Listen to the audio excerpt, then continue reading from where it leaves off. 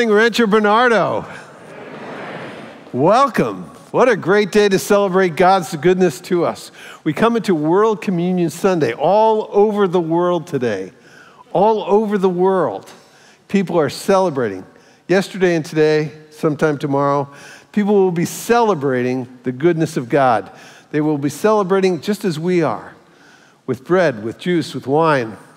They will be celebrating the gift that we have received through Jesus Christ. And so we are today. We're going to have a number of elements. You've already heard some of it with different languages.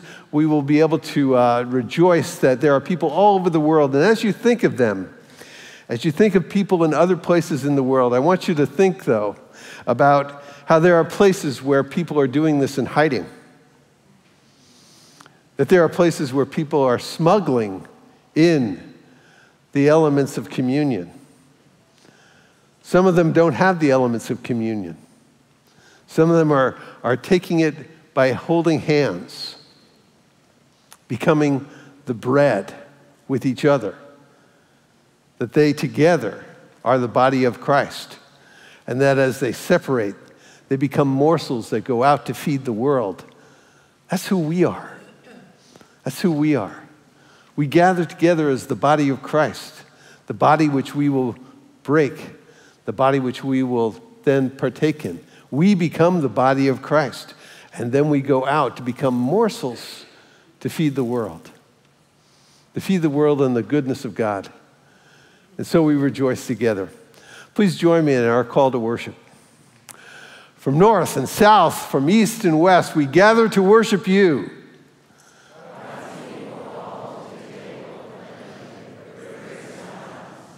We gather to remember.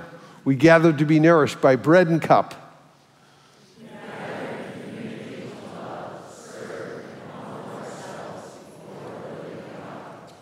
With hearts overflowing, we come with joy as God's children. We shed our differences and unite in the image of Christ.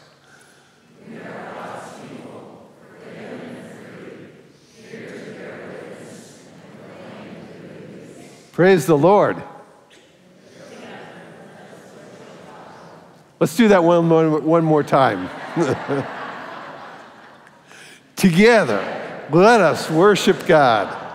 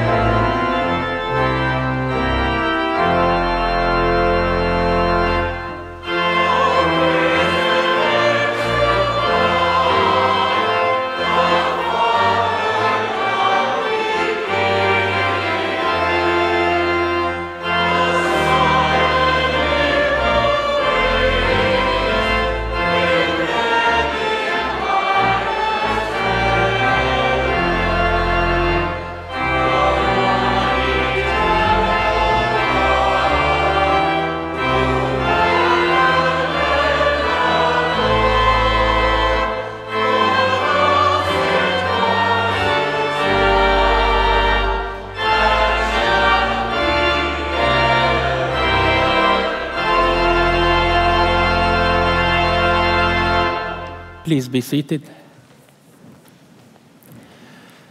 The Bible teaches us that the unfolding of God's word give us light.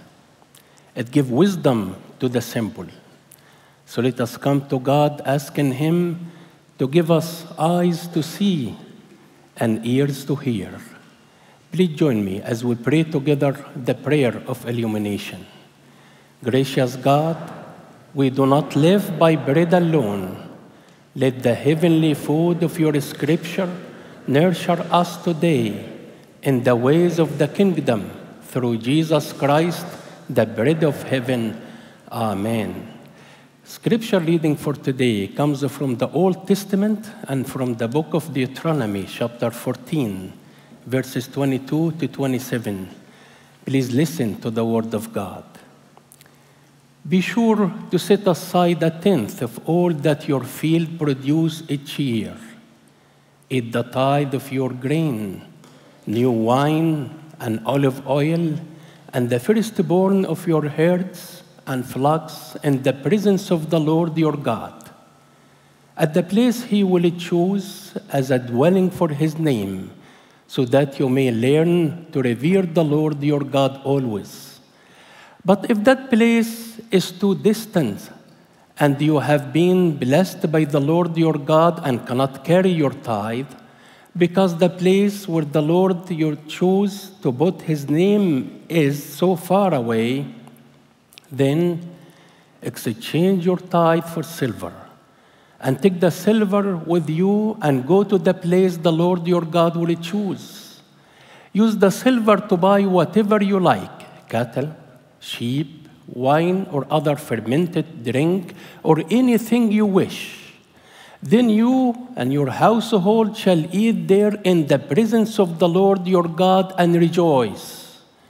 And do not neglect the Levites living in your towns, for they have no allotment or inheritance of their own. The word of the Lord. Amen. Two,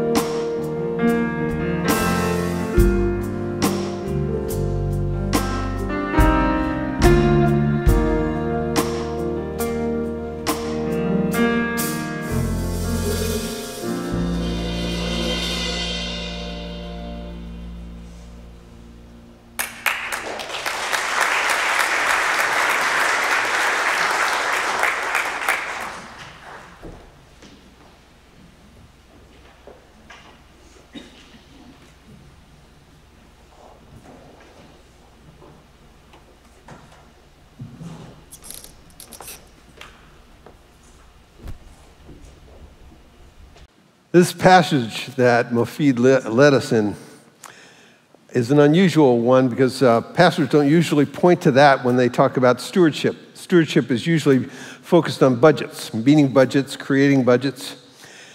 It's not really uh, focused on, um, on partying.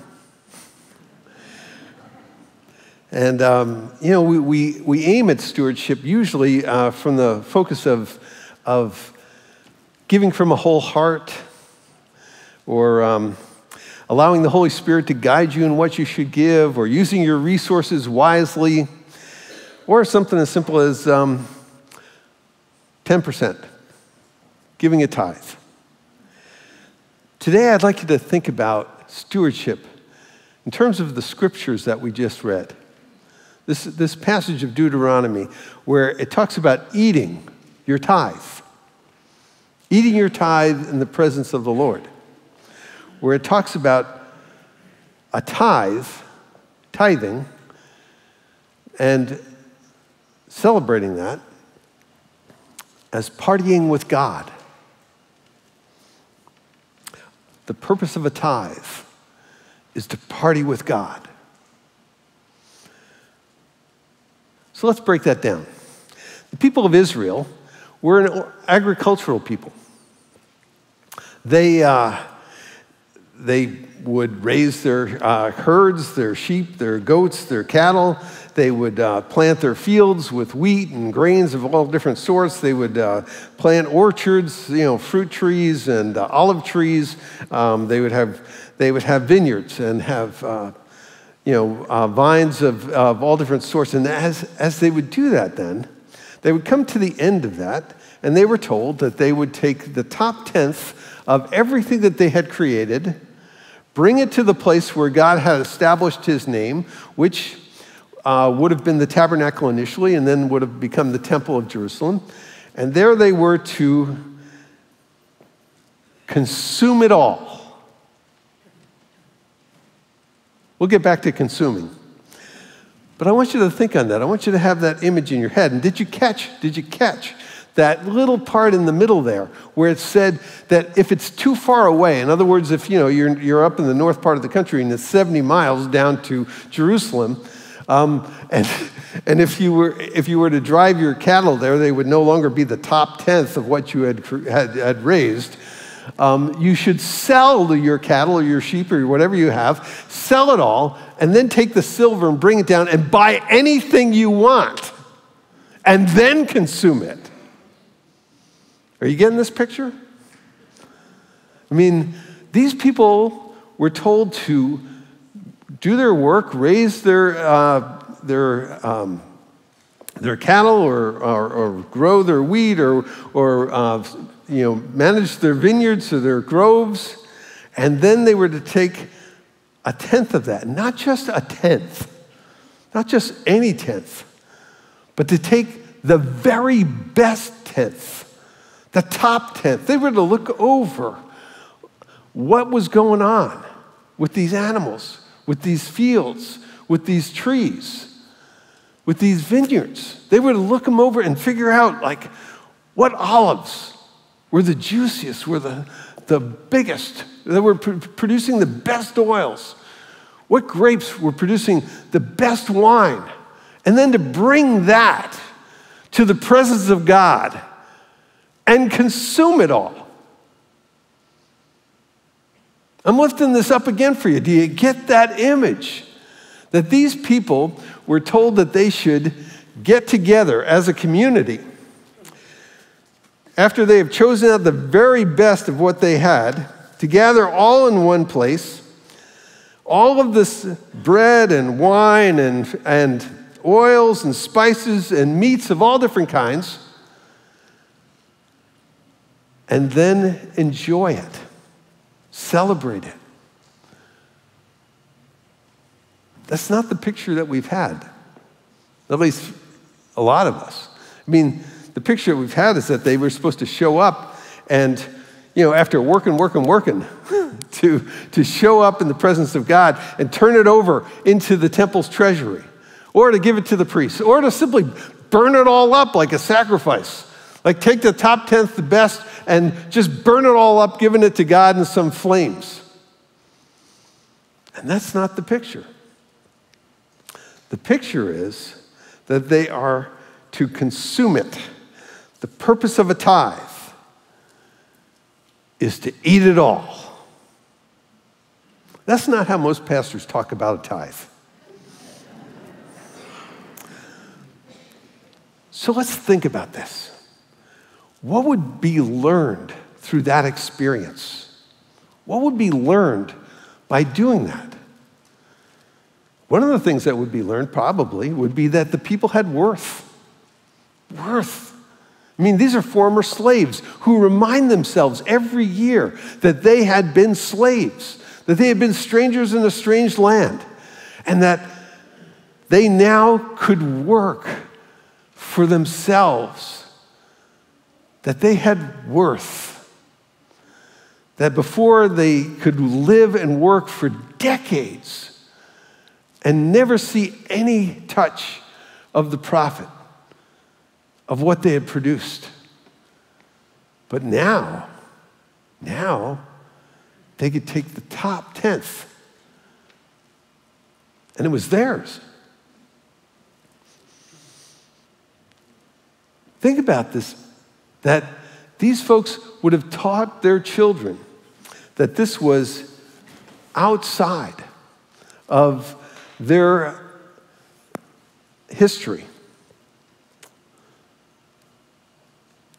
It would also teach them, I would imagine, like we talked about a few weeks ago, that they could rest, that they could take this enormous break and rest. Because they were going to show up and spend the time it would take to consume a whole tenth of what they had produced.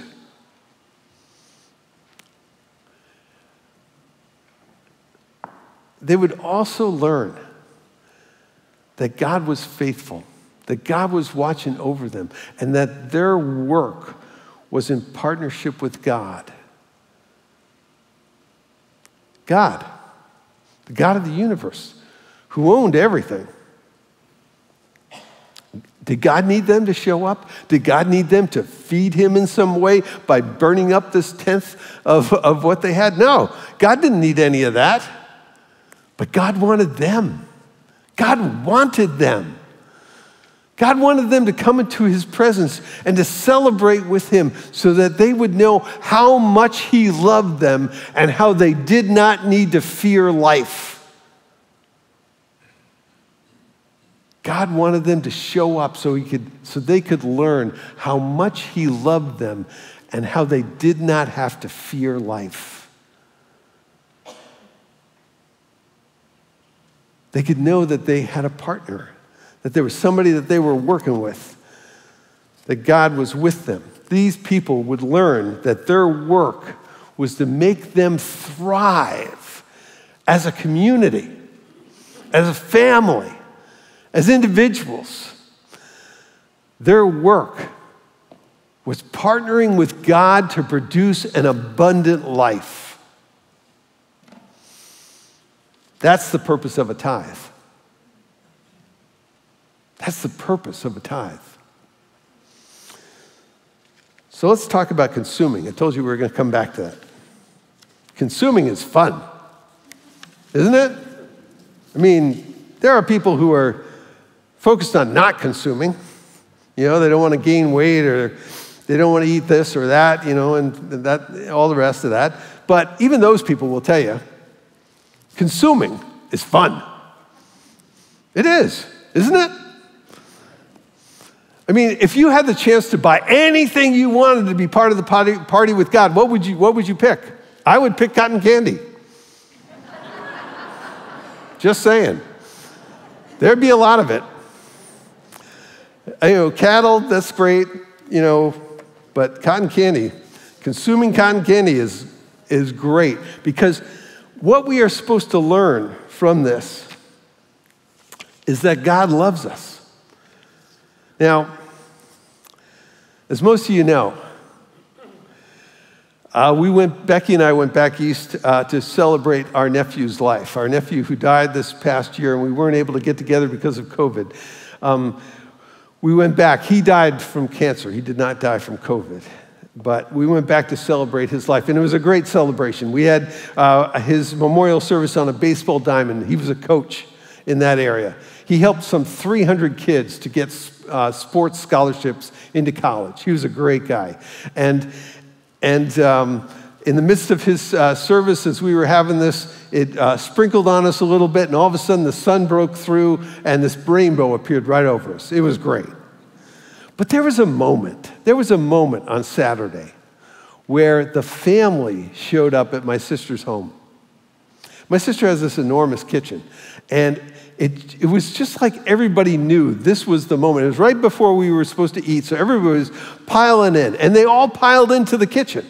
Everybody. And all of a sudden, the plates were clattering, and the conversation was clattering, the silverware was ringing, and everybody was talking, and all these smells were filling up the place. And there was this great conversation going on. There were stories going on. My nephew is this big burly guy, and if he and he was just full of stories. And if he had been there, he would have just held court at that moment. And we just all ate together. Consuming is fun. And that's the purpose of a tithe.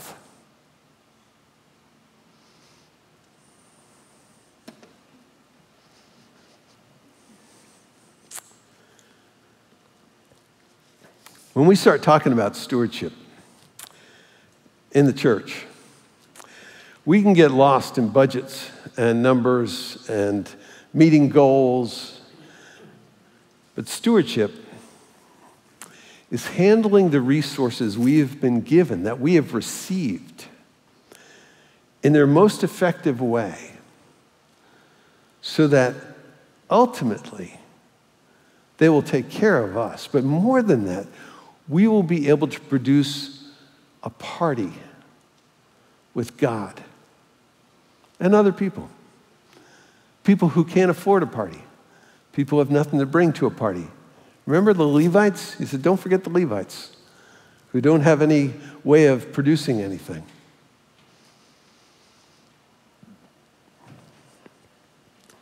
Stewardship is handling the resources we've received to their best effect so we can consume it with others and with God. We party with Him so everyone gets in. So the people of the world that are all around us, they don't have that. People of the world have to accumulate. If they have a partner, that, that, that leads them in the direction of God. That's a good thing in life to have a partner that they work with, that leads them in the direction of God. Because as they partner with someone else, they get to talk things over. They get to share the experiences, the highs and the lows, and they get to get to a place where they celebrate what they have produced. But ultimately, they're still on their own. They have to accumulate. People of the world have to accumulate to experience their worth, to secure themselves, to find safety. People of the world are looking to find peace through what they accumulate. They need to accumulate. How do I know that? When there's a bull market, when people are making more money than they expected out of the stock market, charitable giving goes down. Think about that. Think about that. That when people are flush, when in fact they're doing better than they ever expected that they would, when things are increasing, they give less away. They need to accumulate because it's a scary world. It's a scary world out there, and they have to take care of themselves. Jesus tells this great little story about that situation. He says there was this guy who got more than he expected. He got this great yield out of everything that he had produced. And so his barns were too small. And so he decided that what he would do is tear down those barns and build bigger barns. He had to accumulate. And God said, Well, that's stupid. Tonight's the night you're going to die. You, right after the barns are built. That's the night he dies. He doesn't get any of that. Doesn't get any sense of worth. Doesn't get any sense of achievement. Doesn't get any peace. That's not who we are. It's as the people of God partner with God that we discover and demonstrate our worth, our safety, that we are not afraid of life, that we have peace. And God says the way to, into that discovery is through a party. Does God love us or what? I mean, God loves us. Say that inside yourself. God loves us. Say it out loud. God loves us. God loves us and wants us to know how deeply He does love us and that we do not need to fear life. And He shows us all that through a party. So, the question at stewardship time isn't how much you should give, it's what kind of party do you want to throw? And you see, we're not an agricultural people, so we're handling this in a different way. See, this is the place where the party takes place. So, what kind of party do you want to throw? You got to think that through because as a community, you are coming through a season of distrust when you would not be necessarily throwing parties. Did you hear that? You're coming through, out of a season of distrust. I mean, you just got your first annual report in the last 15 to 20 years. An annual report is supposed to be a report on what your party has done, has been, how you have celebrated the goodness of God. This is supposed to have come into your laps every year and you just got your first one in like 15 or so years.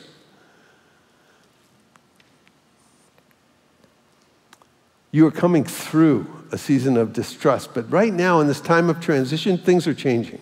I want to tell you about your elders. Your elders are going to take on responsibilities here, and every elder is going to have an area of responsibility that they will be overseeing and then bringing back word to the other elders about how things are going, talking it all over. Some of them already do that. But as we go into this new year, all of them will be doing that. They all will be bringing this back. And then next summer, as you are halfway through, as you come to the end of your fiscal year, you're going to get a new report telling you how it's gone. So as you think about what you're going to pledge, I want to invite you as you get this to think through moving ahead with clarity. Clarity, because that's what we're going to bring. Clarity over and over again so that you can see where things are going, how things are, uh, how things are going, how you're all doing. What kind of party are you throwing? So, a couple of weeks from now, on the 23rd of October, you're actually going to have a party. One of our life groups has put this together, and we're going to have a party with God. You'll see signs about that, and uh, we'll, we will have great food. We will have great conversation. There will be singing, there will be dancing. We're going to party with God on a Saturday night. A week later, on the 31st, you are being asked to bring back your pledge card as a sign of celebration. It's Halloween. Do not trick us. Bring back a statement that says, This is the kind of party I want to be led into. And give that word to your elders, because my bet is your elders are going to handle that responsibly, and you will love what they produce next year. Let's pray. Lord God, you speak to our hearts about what we have and what we can give and how we can celebrate. You are amazing. And you teach our hearts to celebrate in you and with those around us. So, Lord, as we do that, we pray that you will teach us the depth of that celebration, how to rejoice well, how to be secure in you, and how not to fear the life around us that everyone is telling us to be afraid of, but to know that you are the one who carries us through anything that happens, and that you are the one we partner with to produce a party that anyone can get into. We pray this all in Jesus' name. Amen.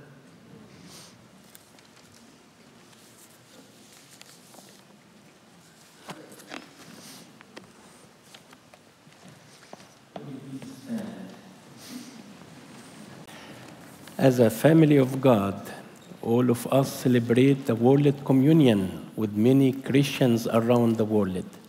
Let us together affirm our faith. We believe in one holy, universal Christian church, the unity of the communion of saints of the entire human family.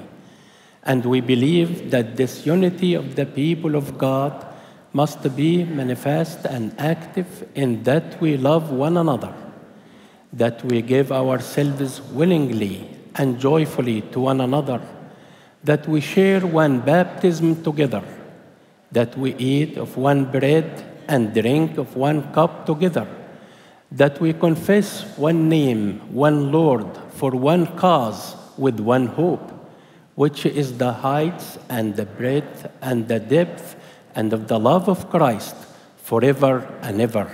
Amen. Please be seated.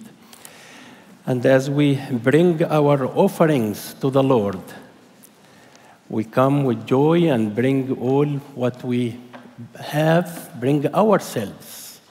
And I would like to remind us all that today, that's for the green envelope. Don't forget the deacons. Deacons have a great ministry in the church and the community. If you have a special offering for the deacons, please use the green envelope. Also, there is a connection card in the pews. Please, uh, if you have any question, any information you need from the church, if you have something to share, or you would like to be a new member, or participate in one of the activities in the church, please fill up the connection card. Let us come to the Lord in prayer. Lord, we praise your name that you brought us together into your presence. to bless us and to be glorified. Lord, we come and bring our offerings with us, and we pray that you may use it and use each one of us for your own glory. In Jesus' name we pray. Amen. Ushers, please come forward.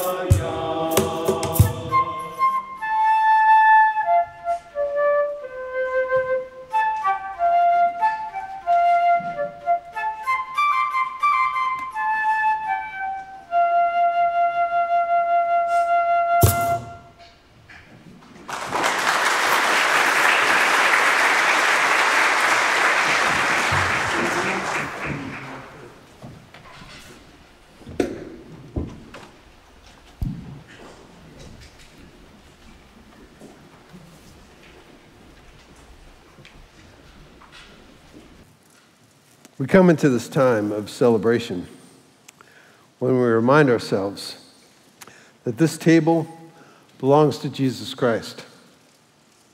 That this is not the table of uh, Rancho Bernardo Community Presbyterian Church, but Jesus' table.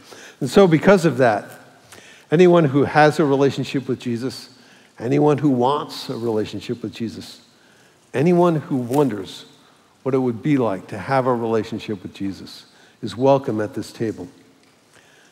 We join together then in celebrating his goodness to us. In doing that, we remember that on the night when Jesus was betrayed and arrested, that he took bread that was left over after his meal, and after he had given thanks, he tore it apart and said, This is my body given for you. Eat of it, each one of you. In the same manner, it says that he took the cup and he said, This cup is the new covenant in my blood.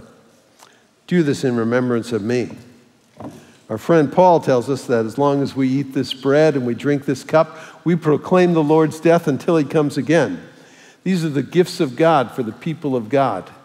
They're also the tangible expression of our faith that comes to us directly from the hands and voice of Jesus.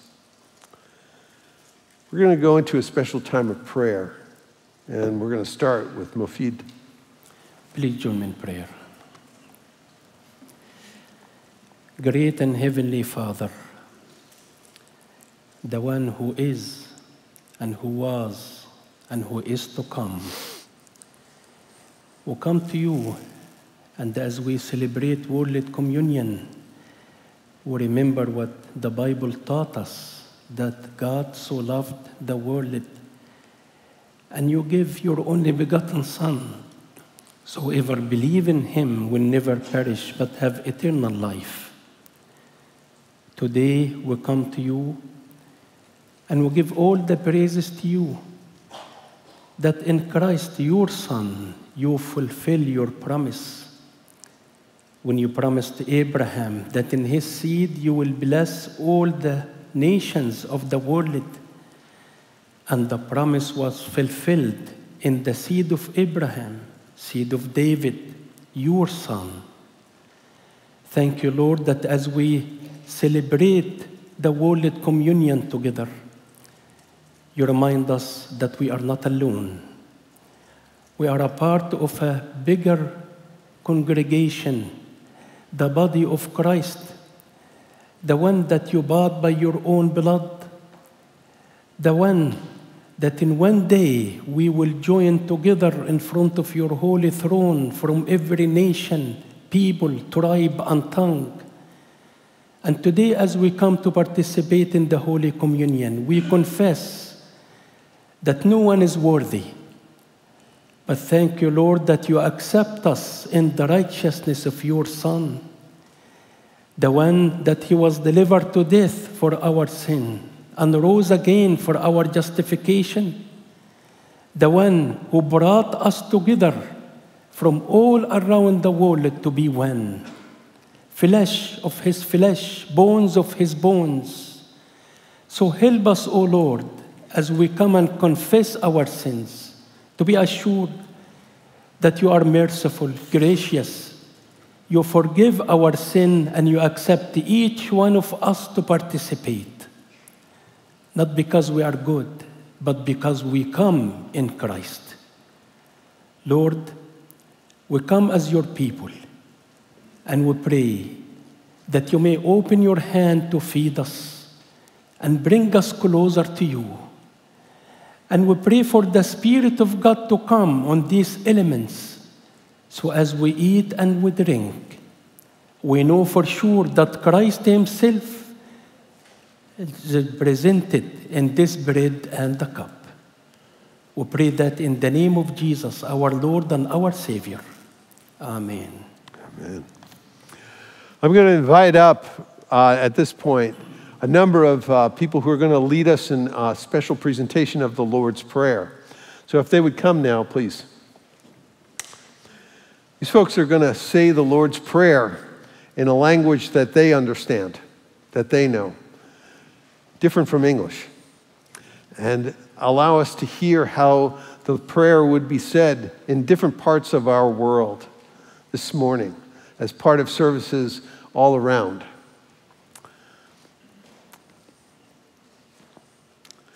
I invite you to not close your eyes, just to pay attention to what's going on.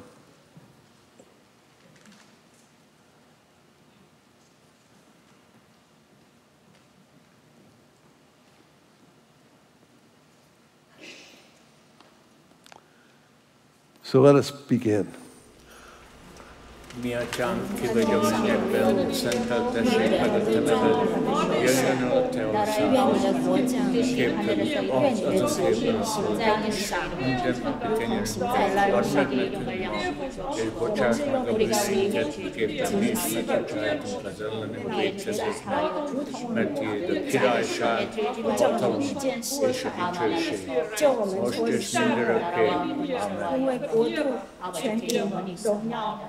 全是你的，直到永远。阿门。 And now let's pray together in English. Our Father, who art in heaven, hallowed be thy name. Thy kingdom come, thy will be done, on earth as it is in heaven. Give us this day our daily bread, and forgive us our debts, as we forgive our debtors. and lead us not into temptation, but deliver us from evil. For thine is the kingdom, and the power, and the glory forever. Amen. Thank you all.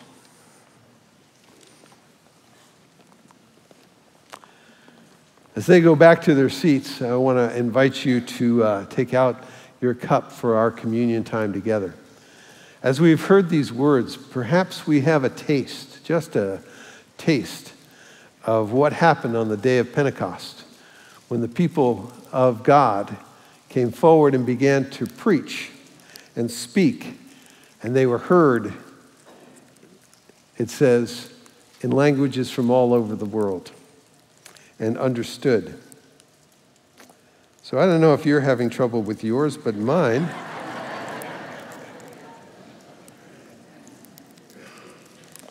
There we go.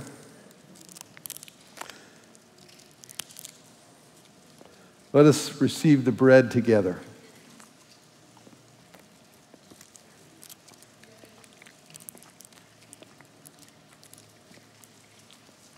And now let us receive the cup.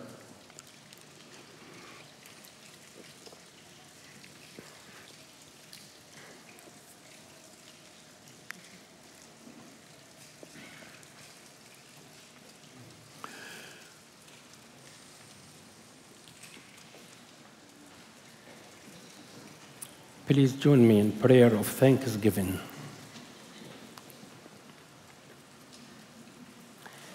Gracious God, we offer our thanks for the, whole, communion, of saints, witness to this feast, and, for, the, ministry of the churches around, the world, who gather with us today.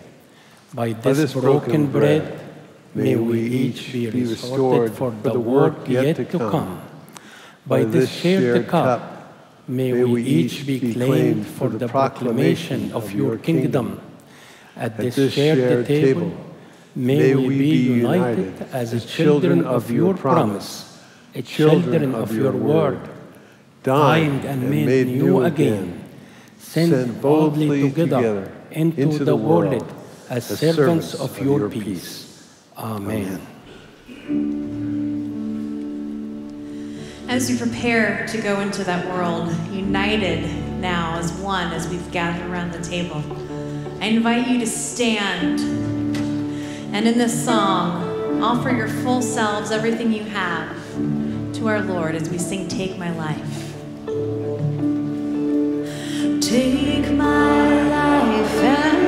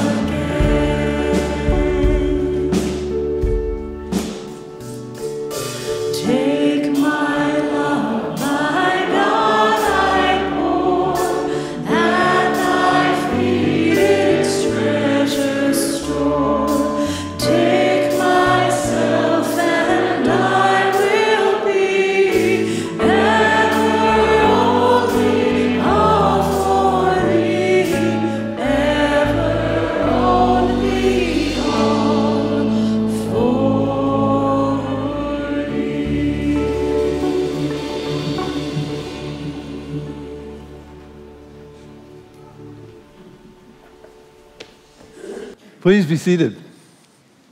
I want to share with you some of what's going on in the life of the church. Um, starting a week from now, on uh, Tuesday night, we're going to have a special uh, presentation going on for a few weeks by Ken Blanchard, who's going to lead a seminar called Lead Your Family Like Jesus. You should have received some information. You can find this on our website. It'll be a Zoom book study that'll be on Tuesdays, like I said, starting October 12th at 7:30. So please look that up on the website, and there'll be more information next week. Want to remind you that we have a library book sale. First off, it just looks beautiful. Uh, but you should go right into our library and check it out. Uh, you should uh, see if there's any books in there that you would like and uh, take advantage of that. John, I want to thank you for the email that you sent out and uh, your announcement. John, as you uh, probably have heard or you received the email yesterday, um, John is going to be the senior pastor of a church north of us in Arvada, right? Uh, you know what? Arvada's in Colorado. I'm sorry. It's still in there. It's still in there. Arcadia. Thank you. Yay. What a great thing.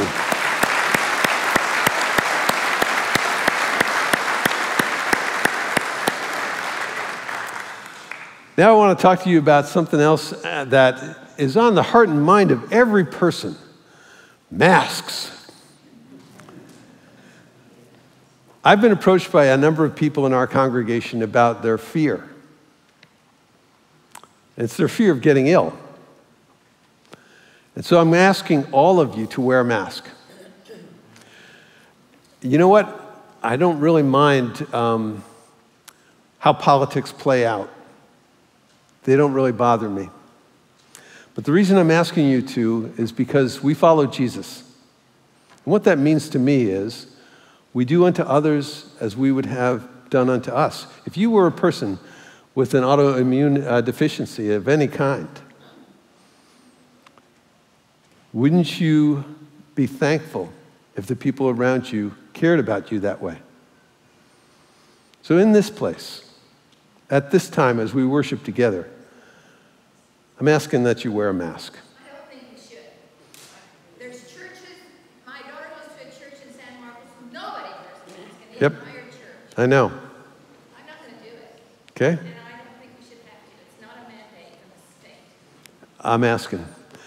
I'm asking you to uh, think about this. So, if you would, please. Thank you.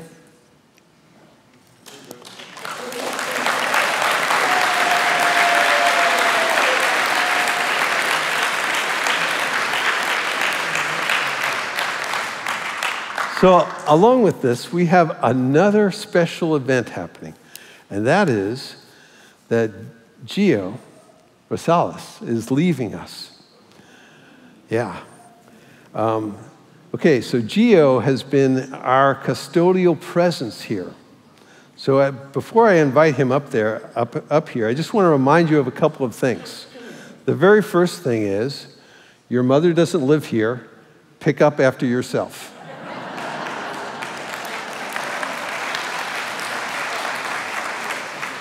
Secondly, if you go out a door, make sure when it shuts behind you that it shuts.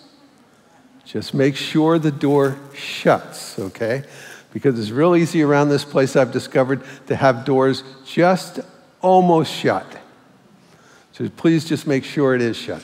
Those are two big things that will help us. Now, we do have a cleaning service that is in here, and they are taking care of things every weeknight. Every weeknight, they're in here working and cleaning things. So we do have that. So we also have some leads on getting folks in here to be a custodial presence. But this guy who has staffed this position on his own is going off to study to be a police officer.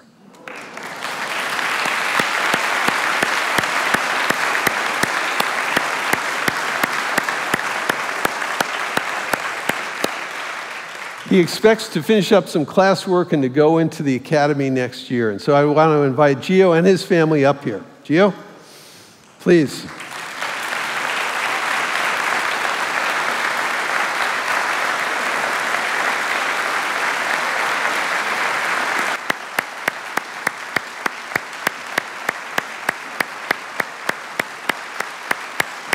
Please, right here.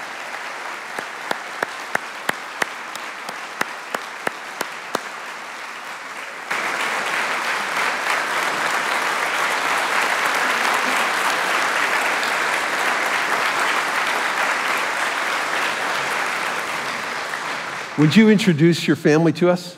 Sure.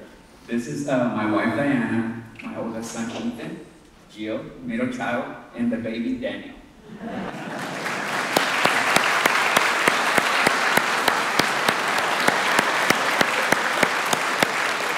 Please be seated.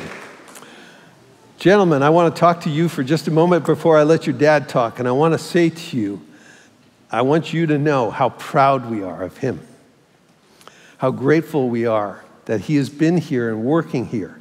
But we are very proud of who he is. And the work that he has done has been terrific. And so we are looking forward to how he is going to live his life out and the things that you guys will learn from him and your mom. So, Gio, if you would like to say anything. Well, um, first of all, I want to say thank you guys for the memories. Just like I mentioned it to all the staff, there's a lot of members of this congregation that I grew close with. Um, thank you guys for, you know, being out there supporting me, always telling me that you're praying for me. Uh, when you see me out there working, asking me if I need help with anything. Um, it does break my heart to leave at this moment, but I feel this is the right time. I've been praying on it for a while, and then, you know, God has been opening doors and kind of drawing a path as far as my future. And um, I feel that if I've been asking Him for this and things are getting together, like it wouldn't be wise of me for me to ignore it right now. So I feel like I have to take these decisions, and um, I want to let you guys know that I will come around. I'm not gonna forget about RBCPC. and it's been it's been rough, but it's been fun, and you know, making things um, happen. Maybe a lot of people don't see what goes behind the scenes, but I just want to remind you all that everything I did was, you know, to glorify God, to make sure that everybody's, um, you know, ministry was working well, to make sure that everything was ready for you guys when you guys were, uh, you know, here on Sundays or even on classes to worship. So I feel good, and I feel you know, I feel satisfied that I did my work. Good.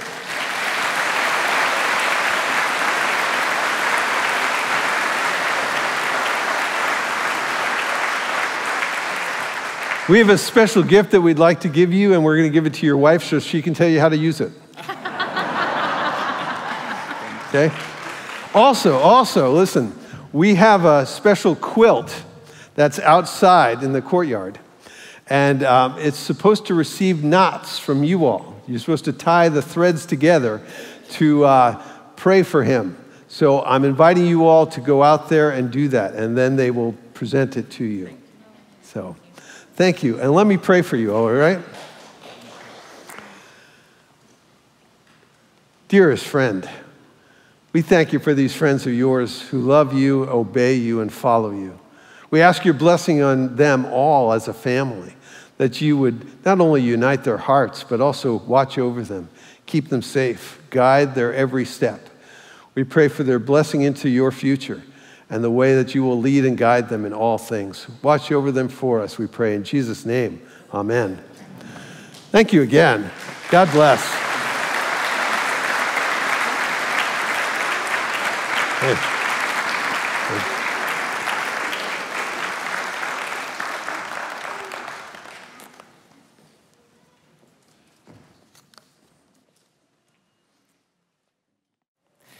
Would you please stand for the benediction? And I would like to remind us all the prayer team will be up front. If you have any prayer request or something to share, please come up front. And also, don't forget to pray for those among us who are sick. If you know of anyone who is sick and we are not aware of, please call the church and let us know. And now, people of God, as you have received Jesus Christ as your Lord and Savior, continue to live in Him, rooted and built up on Him. Strengthen in the faith as you have been taught. And now, may the grace of our Lord Jesus Christ, the love of God, and the fellowship of the Holy Spirit will be with you all. Amen.